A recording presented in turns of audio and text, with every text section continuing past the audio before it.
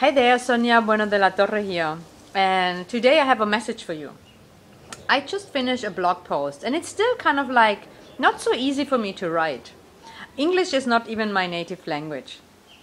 And I was struggling write, uh, to write even when I still was in Germany and I was writing in German. But I've been changing that, I've been um, practicing that, and since I started blogging, it's incredible how much easier it gets but still takes me some time especially if it's something important and i don't uh, sometimes know exactly how to express what i feel inside. So today i wrote a blog called focus on the good and i really want you to read it. So click the link below. I'm sure it's somewhere. I don't know exactly where um, but uh, or go to my blog bloggingfortransformation.com and you can see my latest blog called Focus on the Good. And I got inspired because yesterday evening I was uh, watching a video um, that really touched me, and the video is on my blog. I was crying, sobbing there, letting all out. I was uh, a little bit emotional, but and you know I really I like that. That's fine. I, I like when I'm touched, and I'm fine with tears and whatever emotions come up. And it was basically I I it touched a little bit my frustration or sadness, maybe it's more a sadness that it seems that the world is such a bad place often, you know, and if you see the news and, and, and if you hear everybody complaining and oh my god, the world is such a bad place. And yes, it is true to certain extent.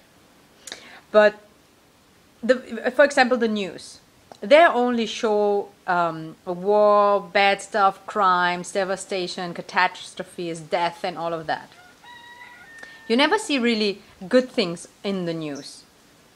And if we keep focusing only, only on the negative stuff, we are not contributing to make this place a better, um, a lighter, more peaceful place. So we have to focus on the good because there are so many incredible people in this world. There are so many good things happening every day. So much beauty, love, contribution, compassion, support, help. This is going on as well. I'm not saying the negative stuff is not there and we should ignore it. No. But everything else is going on as well. So focus on the good already and you will make a difference in this world. And I truly believe that every one of us, every single person, you, me, everyone, can make a difference in this world.